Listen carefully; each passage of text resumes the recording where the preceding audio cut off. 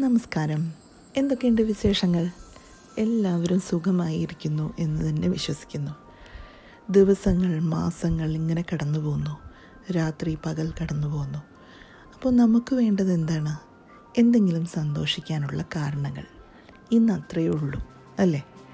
നല്ല ഭക്ഷണം എന്നും നമുക്ക് നല്ല സന്തോഷം തരുന്നതാണ്. അങ്ങനെ ഭക്ഷണം ഉണ്ടാക്കി വിളമ്പി കൊടുക്കുന്നതിന്റെ സുഖമൊന്ന് വേറെയാണ്.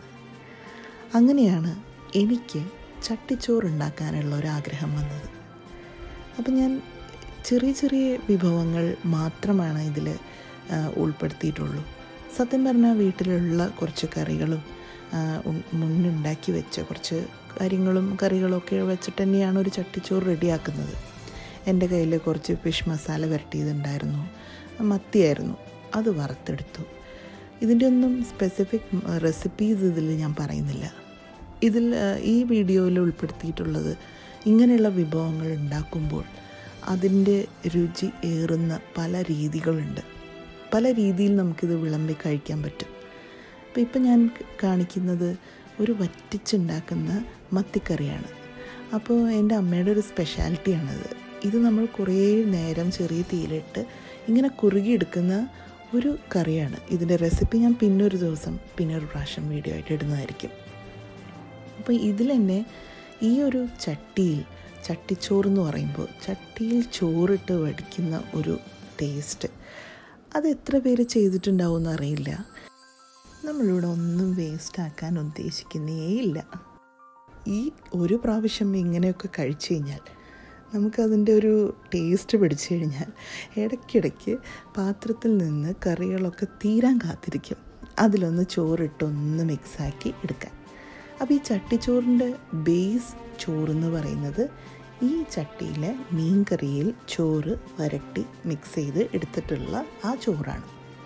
അതിങ്ങനെ ഒന്ന് മിക്സാക്കി കുറച്ച് നേരം അതാണ് അടിയിൽ വെക്കേണ്ടത് ആ ചെറിയ ചൂടോടുകൂടി.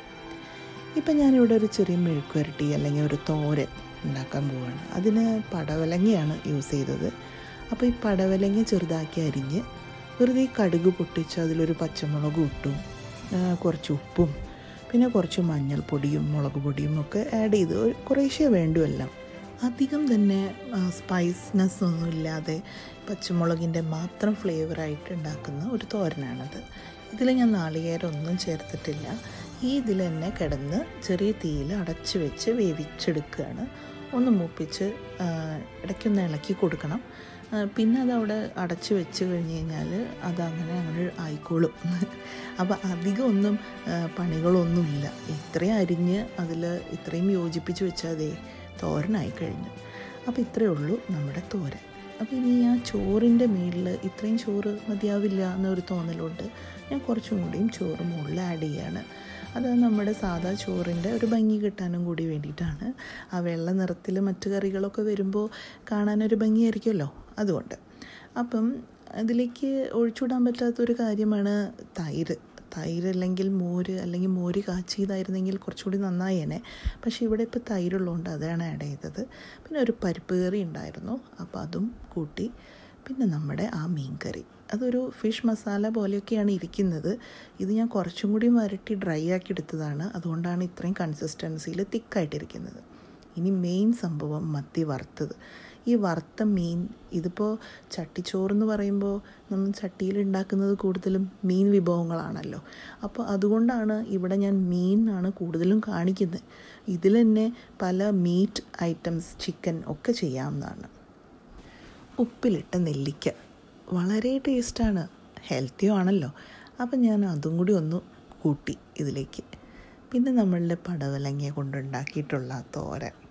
അതാണ് അടുത്ത വിഭവം. അപ്പോൾ ഇത്രയൊക്കെ ഉള്ളൂ. പിന്നെ ഇനി ഭംഗിക്ക് ഒരു പപ്പടവും പിന്നെ ഇത്രയും ആവുമ്പോൾ തൈരും ഇതൊക്കെ ആവുമ്പോൾ ഒരു കൊണ്ടാട്ടം മുളകും കൂടി ഉണ്ടെങ്കിൽ നന്നാവുമല്ലോ. അതുകൊണ്ട് അതും കൂടി ആഡ് ചെയ്തു. ചട്ടിച്ചോറായില്ലേ? എങ്ങനെയുണ്ട്? അപ്പം നമ്മുടെ വീട്ടിൽ തന്നെയുള്ള വിഭവങ്ങൾ വെച്ചിട്ട് തന്നെ വ്യത്യസ്തമായി എന്തെങ്കിലുമൊക്കെ ചെയ്യാൻ നമ്മൾ എന്നും ശ്രമിച്ചുകൊണ്ടിരിക്കുക. അതിലൂടെ സന്തോഷം കണ്ടെത്തുക. അപ്പോൾ ഇനി വീണ്ടും അടുത്ത വീഡിയോയിൽ കാണാം. ബൈ സബ്സ്ക്രൈബ് ചെയ്യാൻ മറക്കല്ലേ?